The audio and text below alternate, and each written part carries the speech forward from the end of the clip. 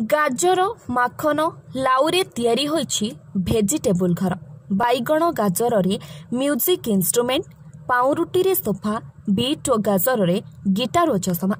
ଏଭଳି ପନିପରିବା ଓ ଫଳମୂଳରେ ଅତି କାରିଗରୀରେ ଅନେକ ସୌଖିନ ଜିନିଷ ତିଆରି କରୁଛନ୍ତି ସ୍ଥାନୀୟ ନୂଆପଡ଼ା ରାଧାକୃଷ୍ଣପଡ଼ାର ଜୋର୍ଡାନ୍ ଜୁଲିୟସ୍ ବାଗ ପେସାରେ ସେ ଜଣେ ଫିଜିଓଥେରାପି ଡାକ୍ତର ହୋଇଥିବା ବେଳେ ନିଶାରେ ଜଣେ ଉଚ୍ଚକୋଟୀର କଳାକାର।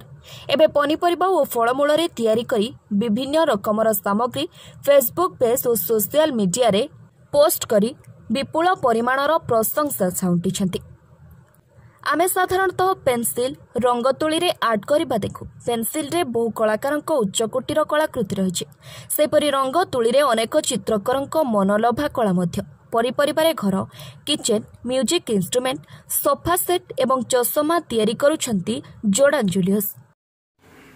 ମୁଁ ସୁଜାତା ରାନୀ ବାଗ ଆଉ ମୁଁ ଜ- ମୋ ହଜବେଣ୍ଡ ଜର୍ଜନ ଜୁଲିୟସ୍ ବାଗ ଯିଏ ଅ, ନୂଆପଡ଼ା ହସ୍ପିଟାଲ ଡିଷ୍ଟ୍ରିକ୍ଟରେ ଯେଉଁ ଫିଜିଓଥେରାପିଷ୍ଟ ଅଛନ୍ତି। ଆଉ ଆଜିକାଲି ତାଙ୍କୁ ଗୋଟେ ନୂଆ ଅ, ଜିନିଷ କ୍ରିଏସନ୍ କରିବାକୁ ସବୁ ବିଷୟରେ ଇଚ୍ଛା କରନ୍ତି।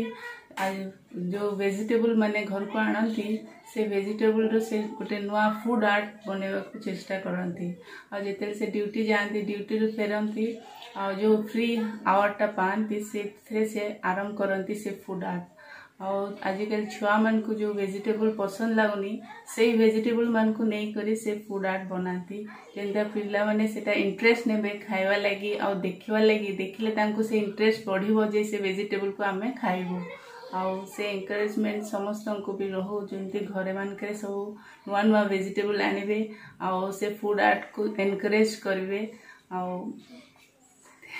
ପରବର୍ତ୍ତୀ ସମୟରେ ସେହି ପନିପରିବା ଓ ଫଳମୂଳ ନଷ୍ଟ ହେଉନଥିବାରୁ ରୋଷେଇ କରିବା ସହ ଖାଇବାରେ ବ୍ୟବହାର କରୁଛନ୍ତି।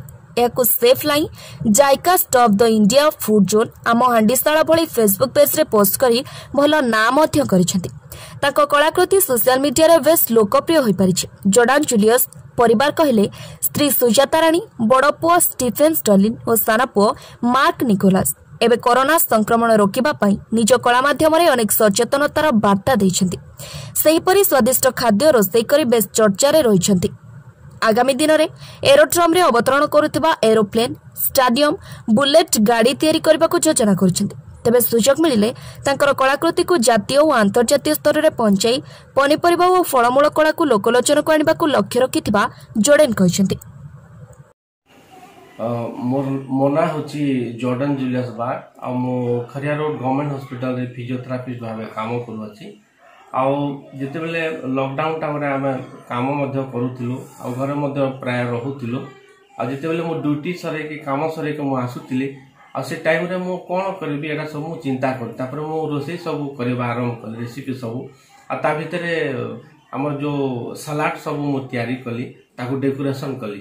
ତାପରେ ମୁଁ ଭାବିଲି ଯେ ୟାକୁ ଆଉ ଟିକେ କ'ଣ ଅଧିକ କ'ଣ କରିହେବ? ତାପରେ ଭାବିଲି ଯେ ୟାକୁ ଭେଜିଟେବୁଲରେ ଯଦି କିଛି ଆଡ୍ କରାଯାଇପାରେ ତାହେଲେ ଆଉ ଟିକେ ବେଟର ହେବ।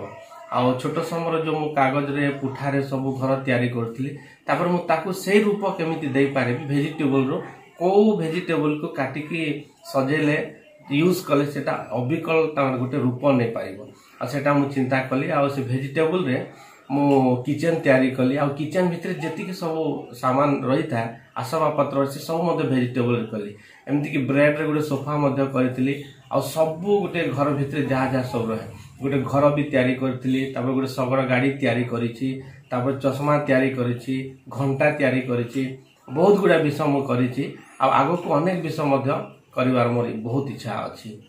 ନୂଆପଡ଼ାରୁ ମୃତ୍ୟୁଞ୍ଜୟ ଗୁରୁଙ୍କ ରିପୋର୍ଟ ଅଭୟ ନ୍ୟୁଜ୍।